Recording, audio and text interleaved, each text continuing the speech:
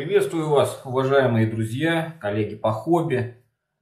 Сегодня хочу представить вашему вниманию рецепт своего самого любимого супа. И будем мы сегодня готовить красный борщ. Борщ со свеклы. Я его больше всего люблю. Для этого нам понадобится мясо на кости, кусочки хорошие мяса, немножко сальца, такие вот кусочки. На этом мы будем варить бульон. Также нам понадобится 2-3 крупных свеклы, перетертых на терке, 2 крупных моркови, также перетертых на терке, две больших луковицы, крупно нарезанных, 6 картофелин. И из приправ нам понадобится хариса, розмарин, зира и чеснок. И также смесь. Здесь красный горошек, белый, черный. И также нам понадобится кетчуп Хенс и соль, сахар по вкусу и столовая ложка уксуса. Теперь начнем готовку. Сначала мясо заливаем водой и ставим вариться бульон. Пока поставили варить бульон, в разогретое масло насыпаю розмарин.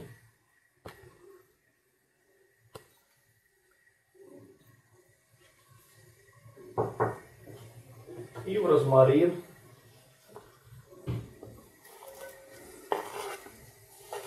высыпаю лук.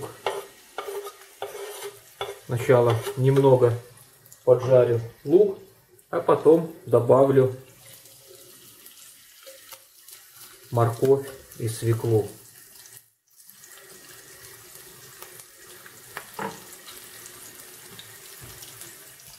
Ну, вот такой вот у нас получает, получается бульон.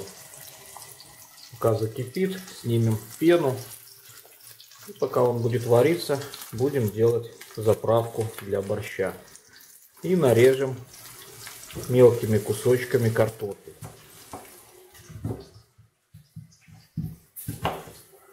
Картофель примерно буду нарезать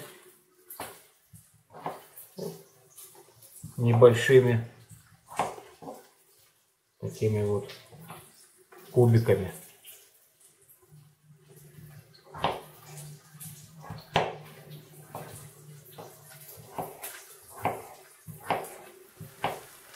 Как только увидите, что лук начал желтеть,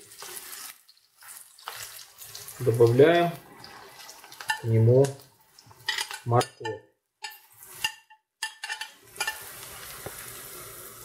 Хорошо перемешиваем и даем немного прожариться луку с морковкой.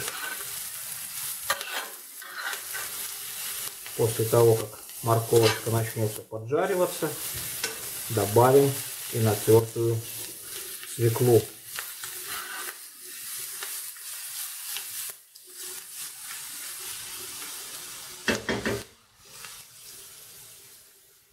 Как только вы увидели, что морковка поджарилась, сразу же высыпайте свеклу.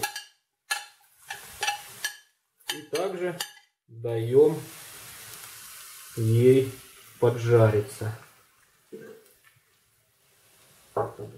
После того, как вы увидели, что свекла хорошо поджарилась, я добавляю 3 столовых ложки сахара, но сахар вы можете добавлять по вкусу. Если кому-то нельзя сахар, то не ложите его вообще. Кто любит борщ послаще, то можно положить и 4 ложки. И одну столовую ложку соли. После этого добавляю кетчуп.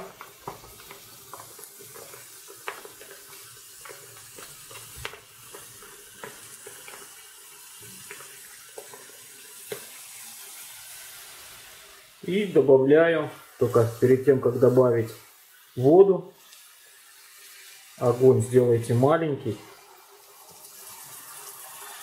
И потихоньку добавляю кружку кипяченой горячей воды.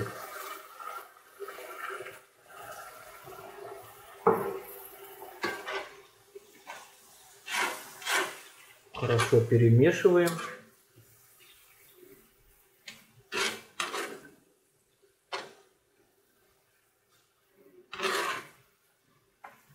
И хорошо протушиваем. Водички можно еще добавить, наверное, добавлю пол кружки. Сейчас налью воду. Пока наливаю воду, добавляю зиру и харису. Приправы сразу ложу сюда. Для вкуса и запаха добавляю смесь из приправ.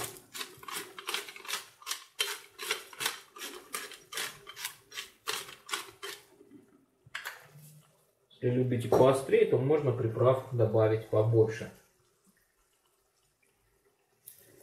И добавляю еще пол чашки воды. Все это перемешиваем и хорошо протушиваем в течение 15 минут.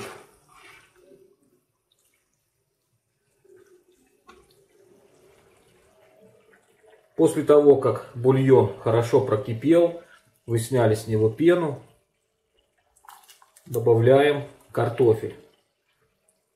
Смотрю, у меня бульончик получился сильно мясной.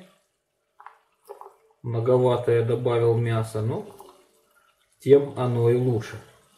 Когда в семье много мужиков, чем больше мяса, тем сытнее. Добавили картофель.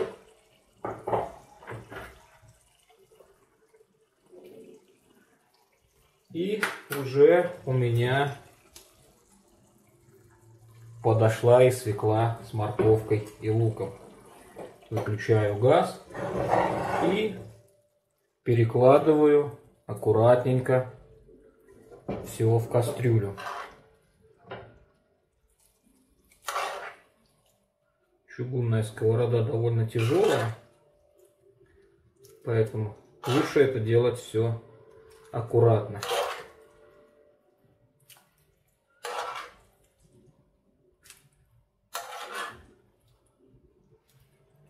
добавили свеклу. И теперь подождем, когда все закипит, чтобы попробовать воду и посмотреть, достаточно ли у нас соли, остроты и сахара.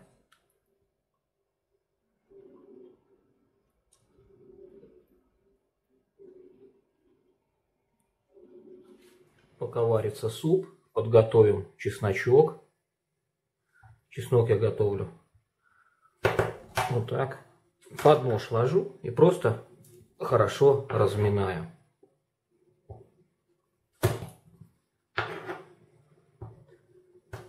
После того, как суп будет готов, выключим газ, положим чесночок, закроем крышечку и подождем минут 15-20, пока он насытится чесноком. Вот, друзья, такой наваристый борщ у нас получается. Запах просто не передать словами. Добавил еще одну треть столовой ложки соли. Мне показалось, что соли было немножко маловато. Теперь добавляем чесночок. выключаем газ и добавляем, друзья, ложку уксуса. Закрываем крышку, ложим на крышку кухонное полотенце и минут 20 даем настояться хорошо борщу. И после этого будем пробовать.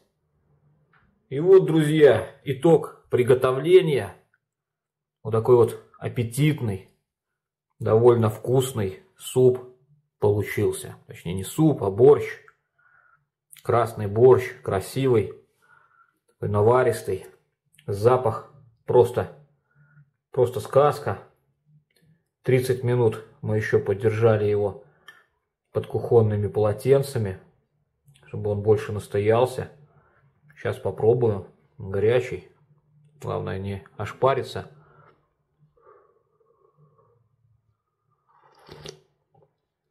Очень вкусно. Вот три ложки сахара по сахару самое то. Одна и треть столовой ложки соли, ложечка уксуса.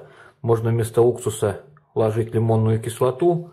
У меня просто ее не оказалось, так бы я лучше положил немного лимонной кислоты, чем уксус. Но все получилось просто замечательно. Рекомендую, друзья, вам попробовать. Уверен на 99%, что вам очень понравится. На этом, друзья, буду заканчивать. Вам всех благ, всех благ вашим близким. Кто не подписался, пожалуйста, подпишитесь. Дальше будут еще более интересные рецепты. До новых встреч, друзья!